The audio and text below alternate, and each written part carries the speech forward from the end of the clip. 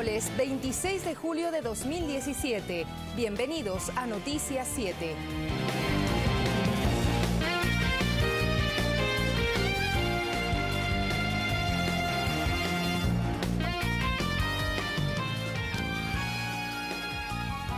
Tal? ¿Cómo están ustedes? Muy buenas noches. El puerto principal ya cuenta con una nueva unidad del milenio y un centro infantil. Una prioridad del gobierno nacional para que niños, niñas y jóvenes tengan un buen vivir. Enseguida vamos a revisar estos temas, luego de los titulares.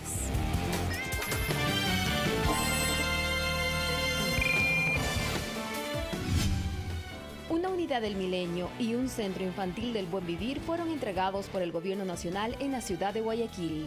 Que nadie nos diga que esta década es una década perdida, es una década ganada por la revolución, con el accionar de todo el pueblo ecuatoriano y su dirigencia. El desbordamiento de ríos y deslaves causan daños materiales en viviendas de la provincia de Azuay. No existe ningún reporte de víctimas fatales ni heridos. Mientras tanto, sí, lo que se está haciendo es evacuando. Mejorar el trato a los pacientes es el objetivo de una campaña que se implementará en los hospitales y centros de salud del país. Es un cambio de paradigmas de cuál tiene que ser la mística de la atención a los pacientes. Yo sé que los profesionales de la salud tienen esa vocación, tenemos esa vocación de servicio, pero hay que dar herramientas para que esa vocación de servicio se traduzca en calidez en cada una de las atenciones. En lo internacional, Estados Unidos sancionará a 13 altos funcionarios del gobierno de Venezuela.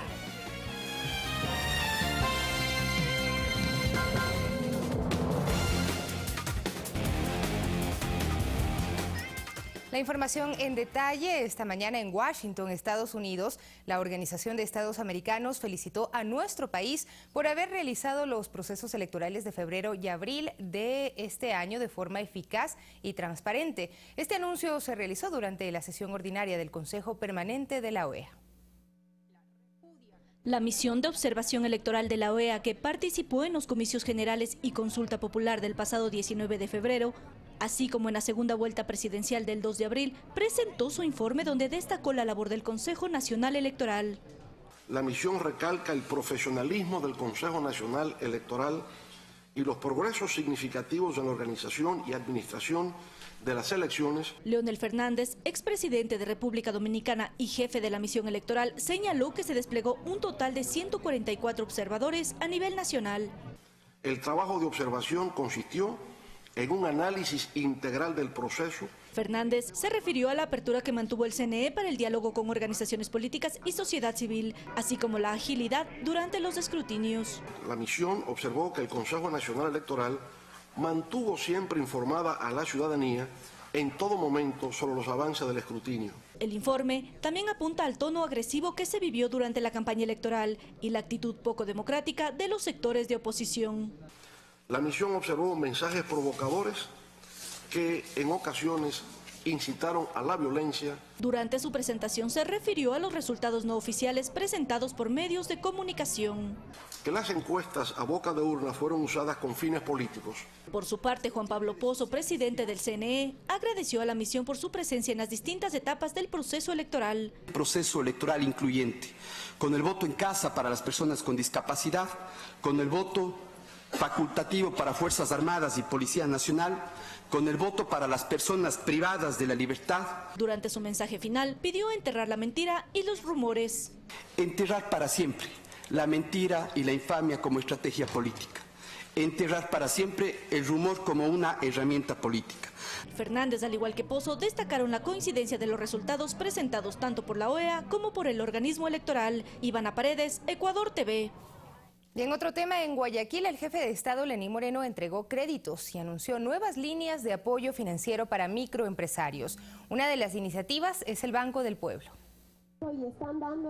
En el lanzamiento del Banco del Pueblo, Pilar Angueta, en representación de los comerciantes guayaquileños, reconoció la gestión de Ban Ecuador a través de los créditos entregados a varias organizaciones textiles, alimenticias y agrícolas. No tenemos sino que agradecer e invitar a quienes necesitan el crédito en cualquier parte de nuestro pueblo a acercarse a Ban Ecuador. Van a ver que será bien recibidos fácil acceder a sus créditos. Con la participación de delegaciones de emprendedores a nivel nacional, se estableció en el puerto principal el compromiso de fortalecer la gestión de Ban Ecuador al convertirse en el Banco del Pueblo y Banca de Desarrollo que beneficia a miles de ciudadanos y sus familias a través del abanico de productos que ofrece. Aportar y financiar las nuevas vías para facilitar sobre todo un acompañamiento a los productos financieros con los productos no financieros. Como parte de los beneficios que oferta el Banco del Pueblo, se entregarán créditos individuales desde 600 a 15 mil dólares, asociativos hasta 50 mil dólares. La entrega del crédito se realizará cinco días después de la solicitud. No se solicitará historial crediticio, hipoteca o prenda. Y para pequeños comerciantes, la tasa de interés será del 10%. Un banco para el desarrollo de los micros y pequeños negocios. Esa promesa ya la estamos cumpliendo a través de Ban Ecuador, con créditos para impulsar sus ideas y negocios, por más pequeños, por más pequeñitos que. El presidente Lenín Moreno indicó que en los dos meses de su gestión se han entregado 139 millones de dólares en créditos para emprendedores. La meta para los próximos cuatro años es llegar a los 960 millones de dólares en financiamiento. Guadalupe Ayoví, Ecuador TV. Y la juventud guayaquileña cuenta ya con una nueva escuela del milenio. Se trata de la unidad educativa Ileana Espinel. Es una institución de educación inicial y bachillerato. Esta mañana el presidente de la República inauguró dicha obra. Y a todos quienes hicieron posible la construcción de esta institución. Jim Vera, de 16 años, tiene discapacidad física del 40% y ha sido ganador de tenis de mesa en los Juegos Paralímpicos de Tokio. Familiarizándose con su nuevo colegio, destaca los avances en la educación e inclusión. Es una alegría muy grande y un orgullo pertenecer a esta unidad educativa. ¿Han cambiado en el tema de inclusión?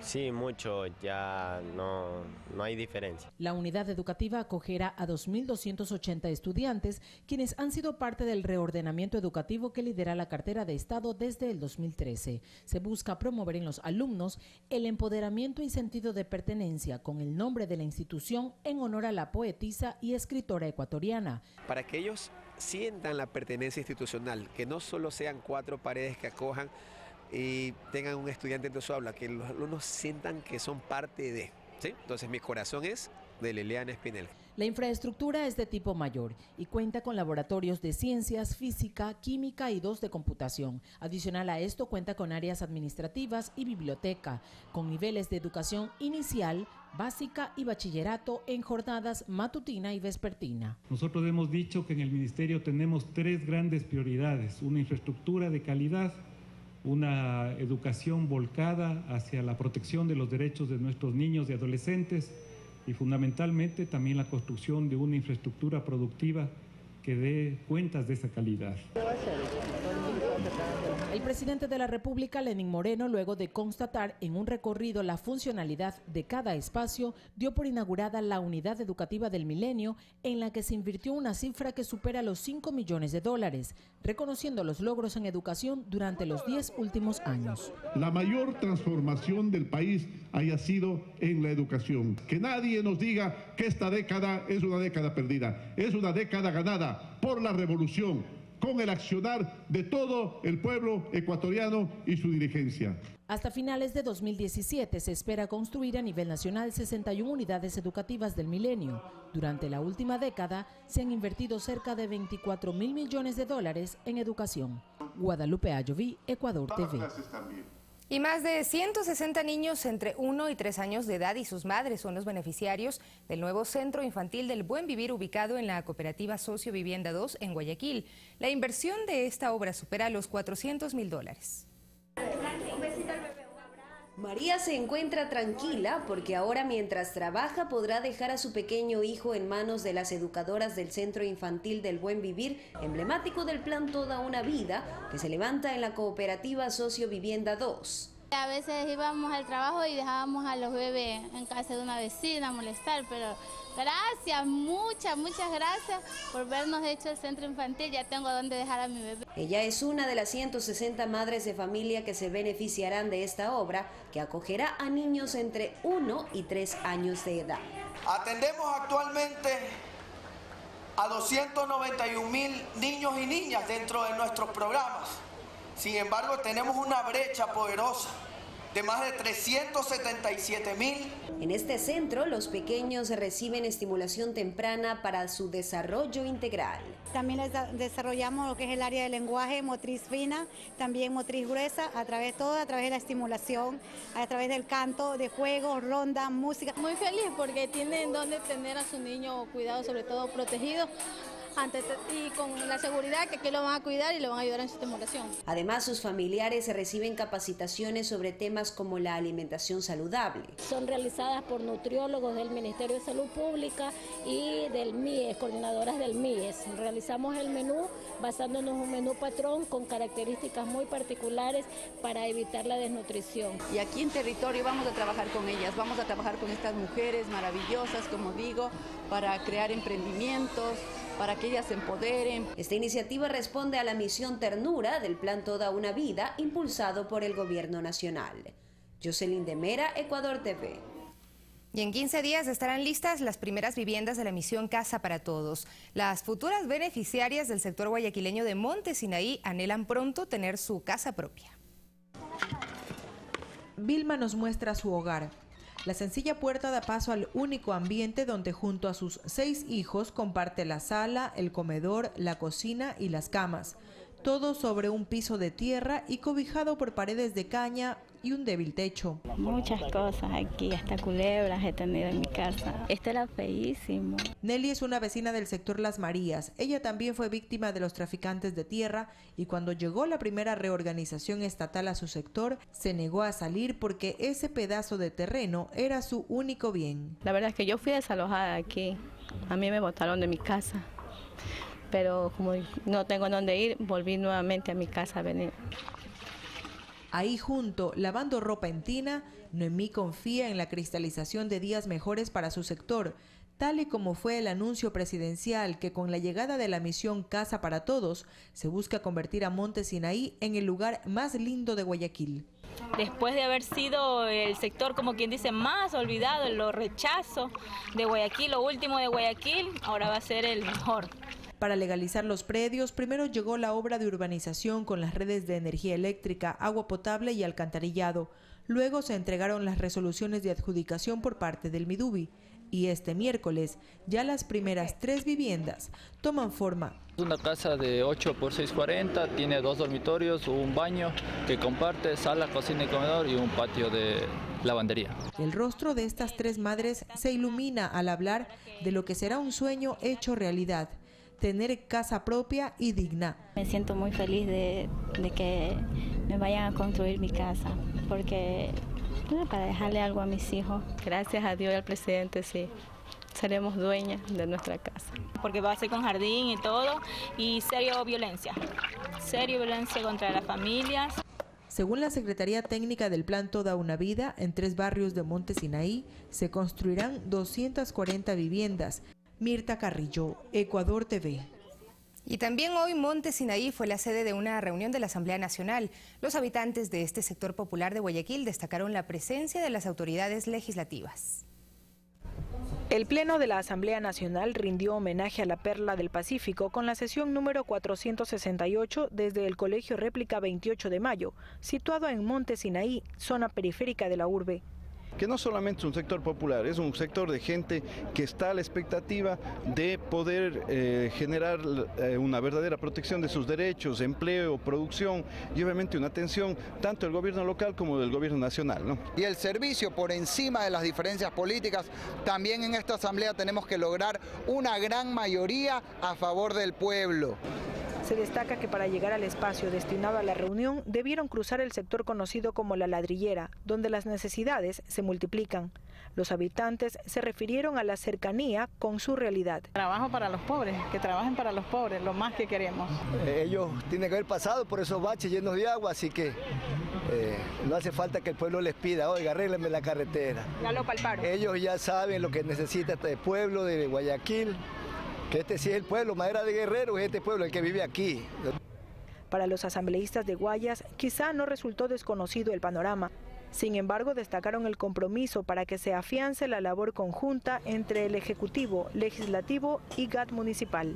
Hoy día también tiene que rememorarse esa separación de poderes, de funciones y el apoyo contundente a la descentralización y autonomía. Hay que repartir lo correspondiente a cada gobierno local, que es lo que les corresponde a cada uno de ellos. Seguir luchando por una patria con justicia social, por una patria con mayor equidad, donde esas brechas sociales se puedan disminuir y también que podamos tener esa gran infraestructura que estamos viendo en este momento, una gran infraestructura eh, educativa para nuestros niños. Se enfatizó en la importancia de sesionar en territorio para conseguir también la vinculación entre la ciudadanía y sus autoridades. Mirta Carrillo, Ecuador TV. Y la vía que une a los habitantes de la zona rural con la cabecera cantonal de Pichincha en la provincia de Manabí fue entregada. La obra demandó una inversión de más de 7 millones de dólares. El vicepresidente Jorge Glass estuvo en el acto inaugural.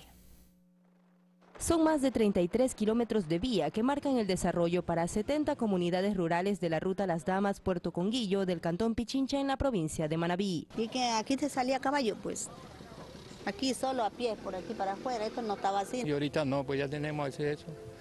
Hay cooperativas, hay taxis, todo carro, a toda hora que usted se, quiera viajar hay, hay vehículos. Nuestros hijos que van a la escuela, al colegio, se benefician de ese, de ese transporte gracias a la vía.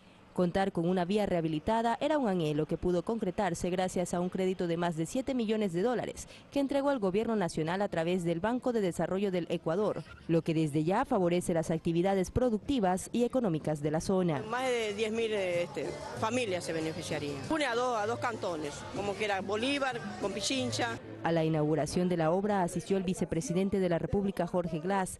A él los ciudadanos solicitaron interceder para que se priorice la construcción de un puente para el acceso a la parroquia Barraganete. No tenemos la partida, no, hay que buscar los recursos, pero sí, ya tómenlo como un compromiso, vamos a buscar los recursos para que ese puente sea realidad. La vía Las Damas Puerto Conguillo es parte del programa estatal Construyendo Caminos, del que participa el gobierno provincial de Manabí. Entregamos 30 millones de dólares para este plan vial integral que contempla la ejecución de seis importantísimos proyectos viales. Desde Manabí, Karen Ceballos, Ecuador TV. Y en otro tema, dos analistas económicos nos dan a conocer su visión con respecto a lo que el gobierno plasmaría en la Proforma 2017. Dicha propuesta sería entregada a la legislatura hasta este viernes. El presupuesto general del Estado se encuentra prorrogado de conformidad con lo que dice el artículo 295 de la Constitución. Y en estas semanas llegará a la Asamblea la proforma para los dos últimos trimestres del año. Para Fausto Ortiz, exministro de Finanzas, de arranque se debe aclarar cuál es el déficit fiscal. De enero a junio en este año 2017 va en 2.021 millones de dólares, un déficit fiscal elevado. Ortiz se suma a las voces que consideran prioritaria la reestructuración de la deuda pública. Reestructurar la deuda te puede ayudar a tener mejores intereses.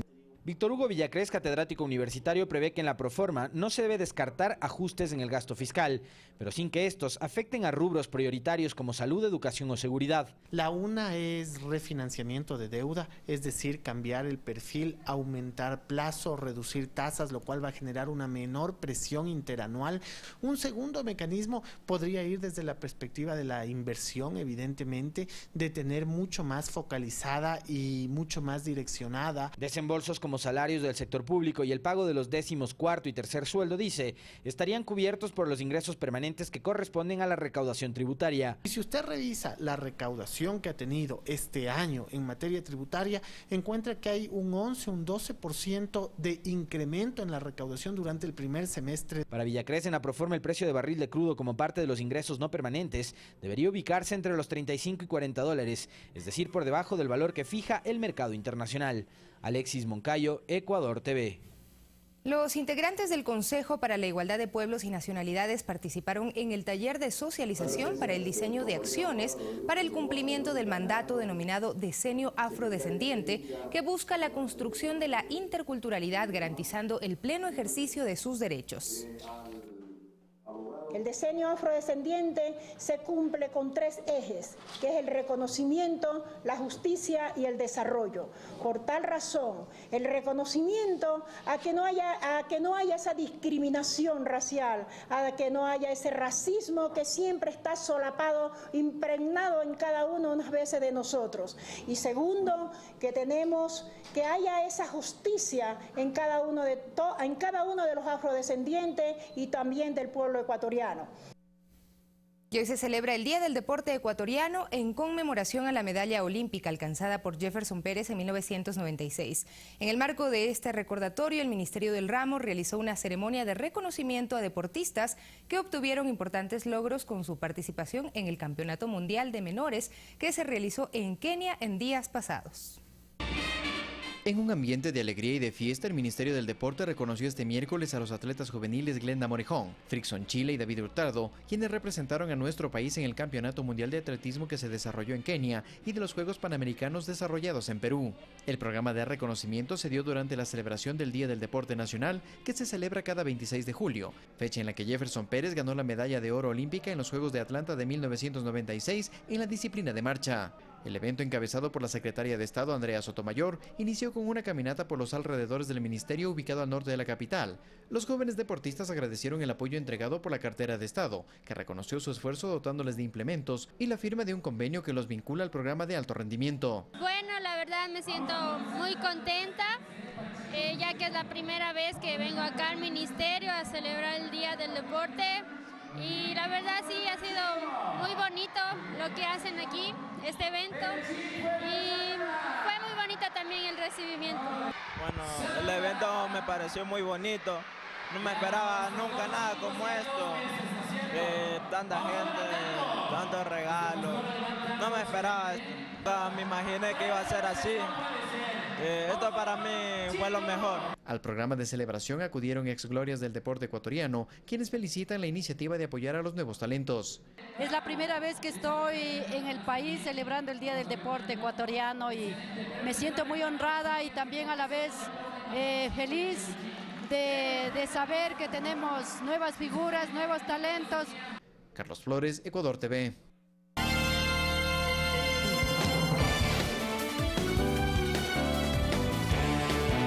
Para más información, síguenos en www.mediospublicos.es.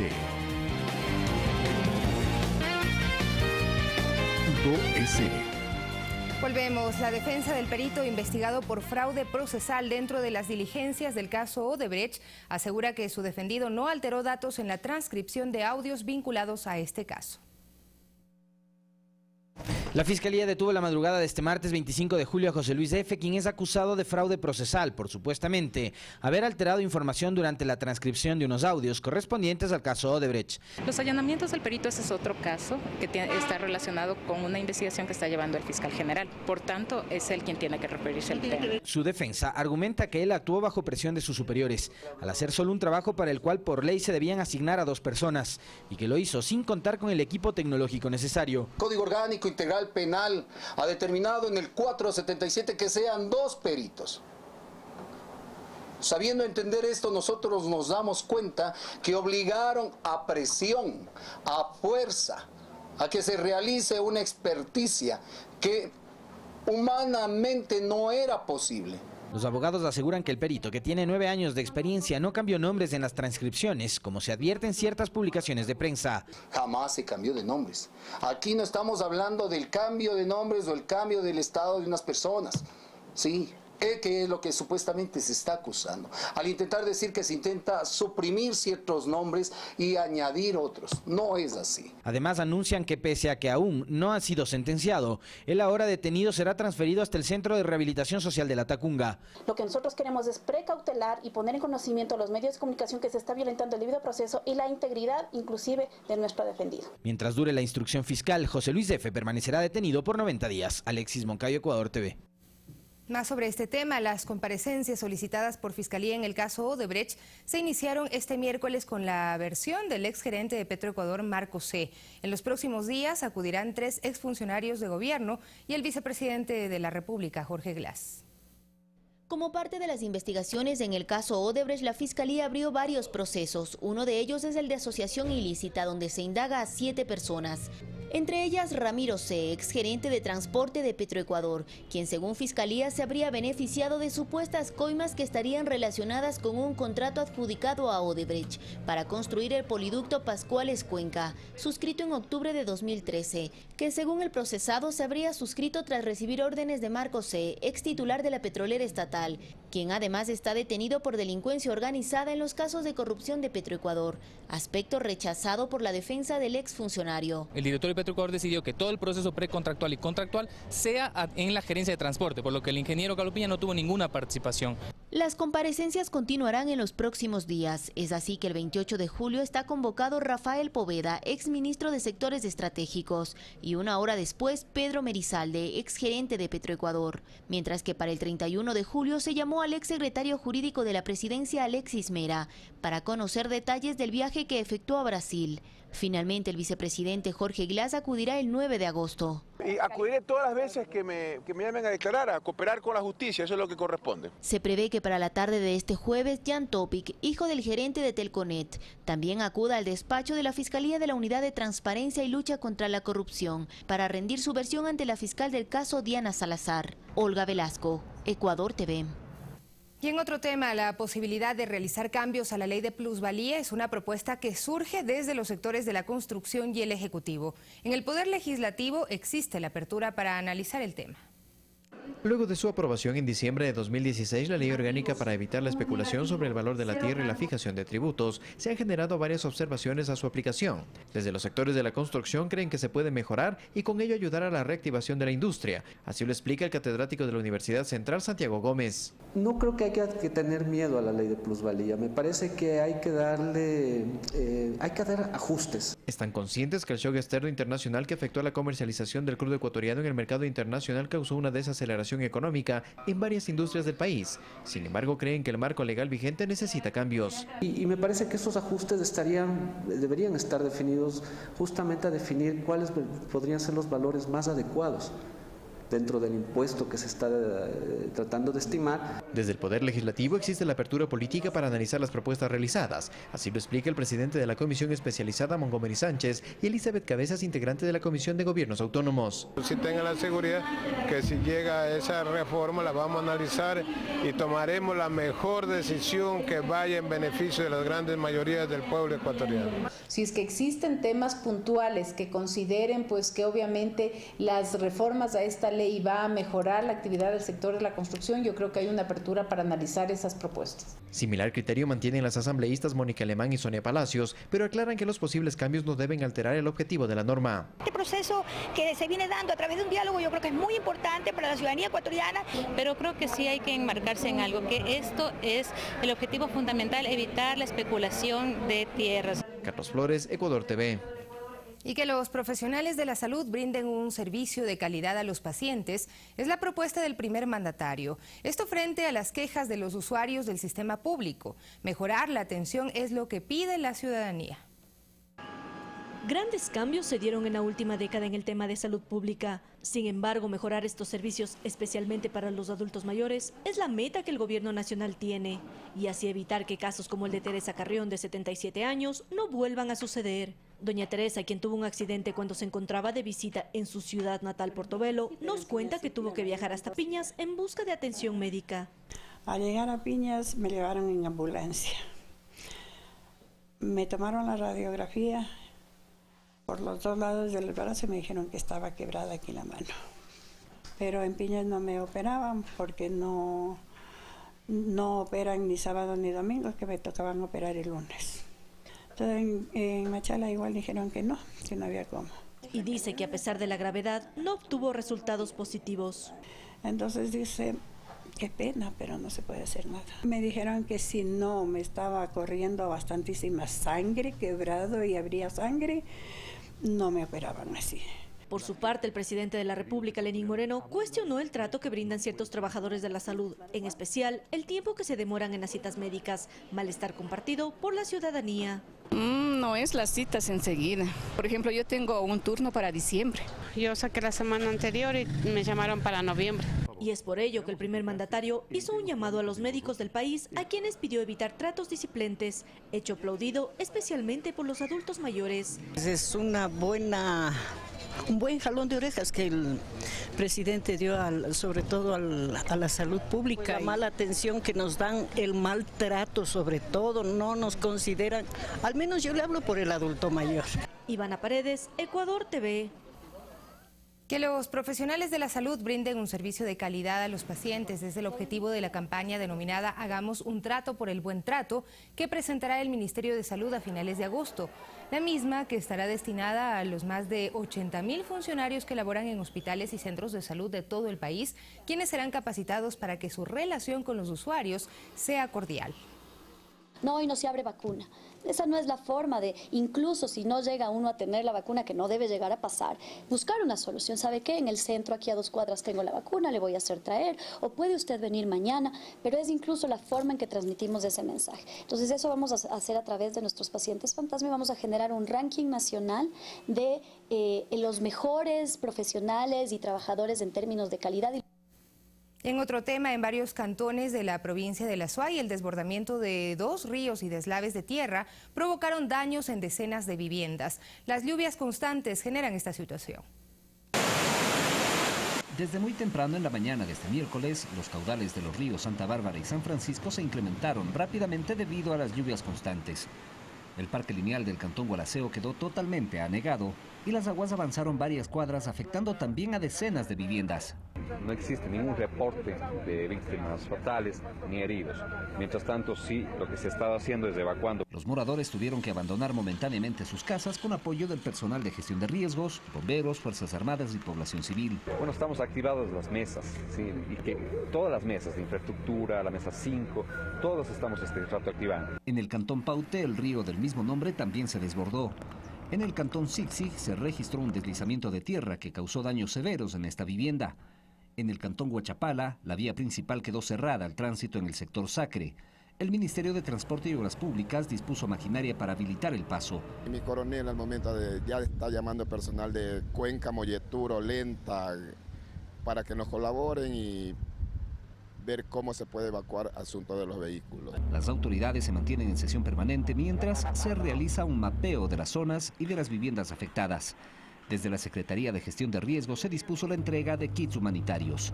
César Tacuri Vintimilla, Ecuador TV.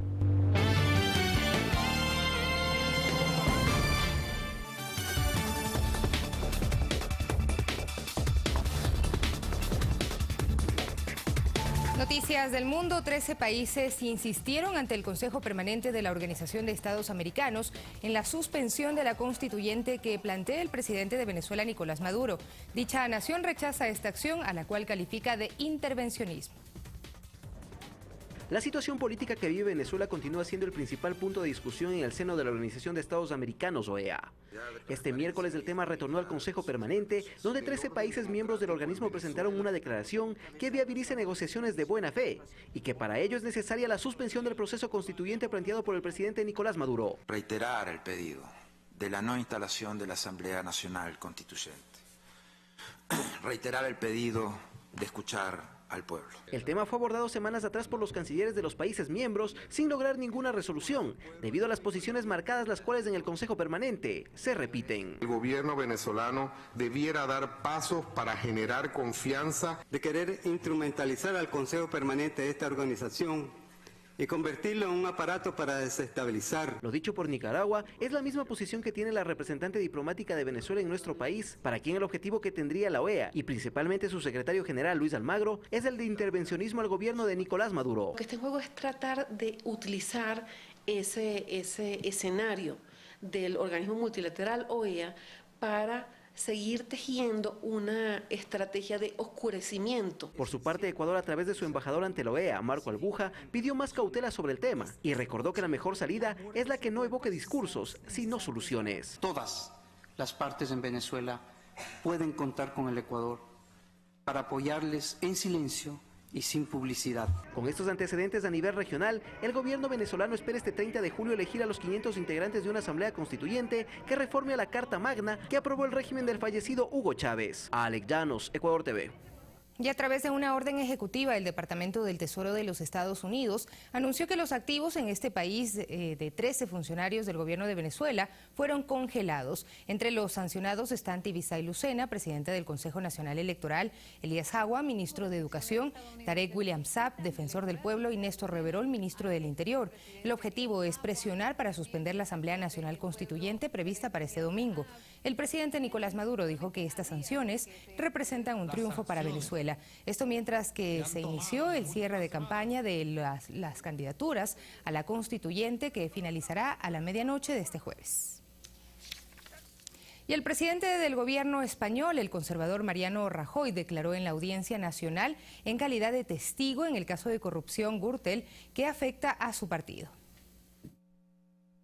El hombre del día en España, Mariano Rajoy, el presidente del Gobierno, ha declarado hoy en la Audiencia Nacional en calidad de testigo en el caso de corrupción Gürtel que afecta a su partido. Primero estaba el presidente, luego estaba el secretario, había tres vicesecretarios generales. Rajoy, que ha acudido por su condición de ex vicesecretario general, ex secretario general y presidente del partido en el periodo juzgado entre 1999 y 2005, ha negado que conociera la asistencia de financiación ilegal en el Partido Popular. La oposición no ha tardado en reaccionar. Señor Rajoy, por dignidad, y no la suya, sino la de nuestra democracia, le exigimos desde el Partido Socialista Obrero Español que dimita. Vergüenza al ver al presidente del partido imputado y presidente del Gobierno tener que declarar como testigo por la financiación ilegal del partido que está gobernando. El conservador Mariano Rajoy ha dejado claro hasta en siete ocasiones que jamás cobró sobresueldos, que jamás recibió dinero negro en sobres y que jamás oyó que empresarios de la construcción pagaran comisiones al Partido Popular por conseguir contratos de obra pública. Me quedo con lo menos malo, que es por lo menos ha comparecido. Es lamentable que un presidente eh, venga a declarar ¿no? por, por estos asuntos de corrupción. Aunque hoy no es un día cualquiera, ya que es la primera vez en la historia de la democracia española que un presidente del gobierno activo tiene que declarar ante un tribunal. Una información para Ecuador TV. Estados Unidos no admitirá a las personas transgénero en las filas de las Fuerzas Armadas, una decisión que ha generado varias reacciones. Mientras que en Perú la audiencia de apelación a la sentencia de 18 meses de prisión en contra del expresidente Ollanta Humala y su esposa se realizará el 31 de julio. Tenemos más noticias en el siguiente resumen internacional. Vía Twitter, el presidente de los Estados Unidos, Donald Trump, anunció que prohibirá que personas transgénero sirvan en las Fuerzas Armadas por el alto costo médico y la distracción que, según él, causarían en el ejército. La comunidad GLBTI asegura que se trata de un golpe a sus derechos. Chelsea Manning, quien se declaró transgénero luego de ser sentenciada por filtración a Wikileaks, calificó la decisión como un acto de cobardía. Entre 2.000 y 7.000 personas transgénero sirven en las diferentes ramas de la institución. La Fiscalía de Perú indicó que la audiencia de apelación por la sentencia de 18 meses de prisión contra el expresidente Ollanta Humala y la ex primera dama Nadine Heredia se realizará el 31 de julio. En tanto, continúan las investigaciones sobre el caso Odebrecht. La empresa admitió haber entregado aportes económicos en conversaciones donde se menciona un proyecto denominado OH. Según el fiscal Germán Juárez, Marcelo Odebrecht habría señalado que OH hace referencia al exmandatario Ollanta Humala. Cientos de manifestantes salieron a las calles de Santiago de Chile para pedir la despenalización del aborto, esto luego de que la Cámara de Diputados rechazó por un solo voto el proyecto de ley que legalizaba el aborto en caso de violación, inviabilidad del feto o riesgo para la vida de la madre y que tuvo luz verde en el Senado. En Chile está penado el aborto en todas sus circunstancias desde la dictadura de Pinochet. Más de 10.000 personas fueron evacuadas por varios incendios forestales que azotan el sur de Francia. El fuego arrasa hasta el momento 5.000 hectáreas y deja una decena de bomberos heridos, uno en estado grave. 2.000 efectivos y 19 bienes cisternas intentan apagar las llamas y han solicitado ayuda a la Unión Europea. Fanilara, Ecuador TV.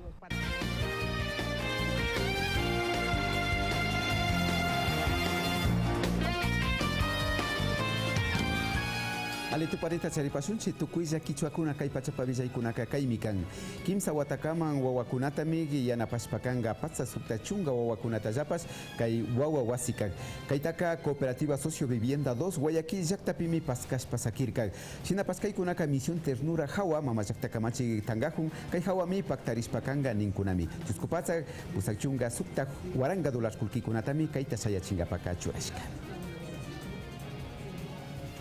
kay visayka kaymi kan manachuk ñukanchipa hambina ukukunapika tawkakuna llamkankuna shinachata llamkakta mañaspapas kayman hambiringapas ayankuna kanchik chayta rikuspami ministerio de salud kunanga hagamos un trato por el buen trato nishka. Ruraykunata paktachishpa kanajun chaypika tukuykuna aliman imata kaspapa llankachun shinallata yukanchipas aliman chayaspa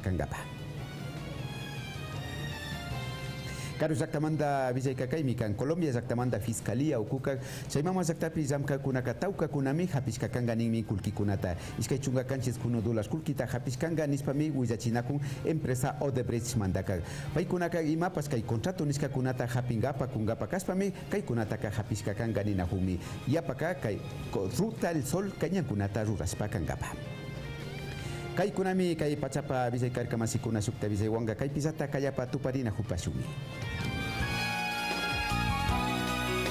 Nos despedimos a ustedes, muchísimas gracias por su atención. Vienen enseguida los deportes junto a Fernando Estrada.